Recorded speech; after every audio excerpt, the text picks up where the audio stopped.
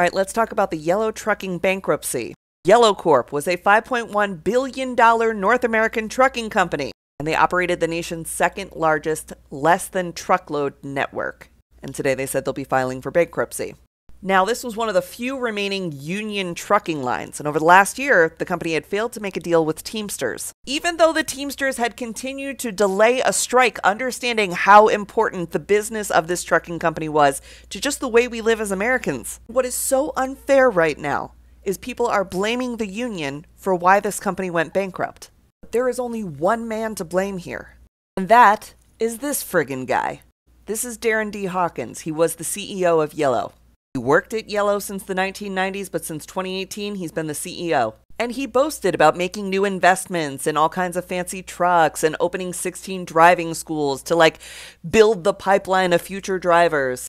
And in 2020, he took a $700 million loan from the Trump administration. That money was part of a $17 billion fund that the Trump administration set up to assist companies deemed crucial to national security during the pandemic. Now, at that time, the Democrats had the majority in Congress, and the Congressional Oversight Committee questioned the loan.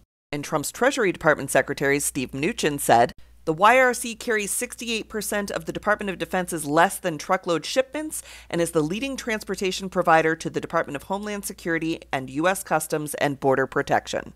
And so the loan was approved. Even though at the same time, YRC was being sued by the Department of Justice for lying. They had allegedly defrauded the government by artificially inflating the weights of its shipments, and they settled with the government in March of 2022 for $6.85 million. All of this happened under the direction of Darren D. Hawkins. Even with a $700 million federal bailout, even with a robust book of business, could not run the ship.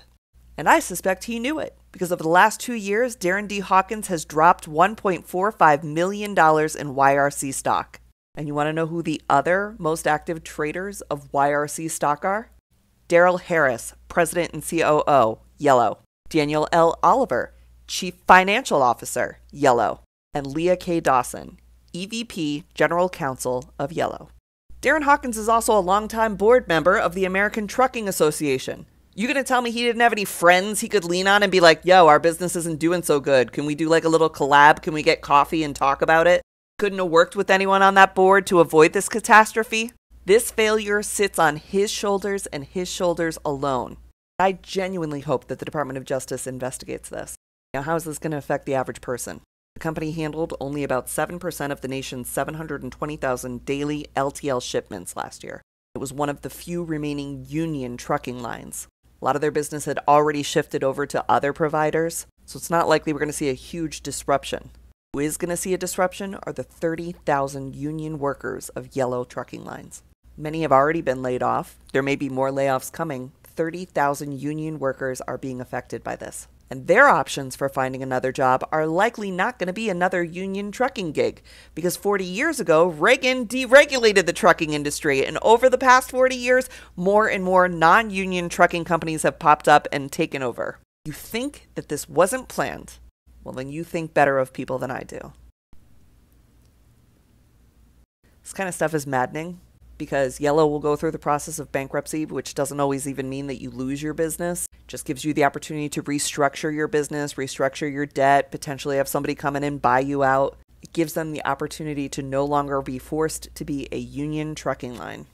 And that sucks. And this coward has said nothing to the families. Some of these people were second generation truckers for Yellow. It sucks.